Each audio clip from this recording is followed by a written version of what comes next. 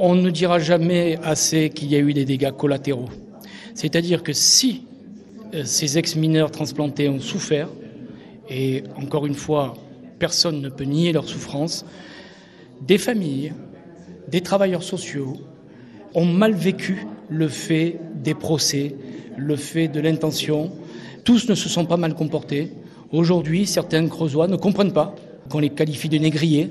La Creuse, vous le savez, a été une terre de juste durant la Seconde Guerre mondiale. Je crois qu'il faudrait rendre là aussi hommage à ceux qui n'ont pas maltraité ces ex-mineurs et euh, qui ne comprennent pas aujourd'hui euh, le sort qui leur est fait.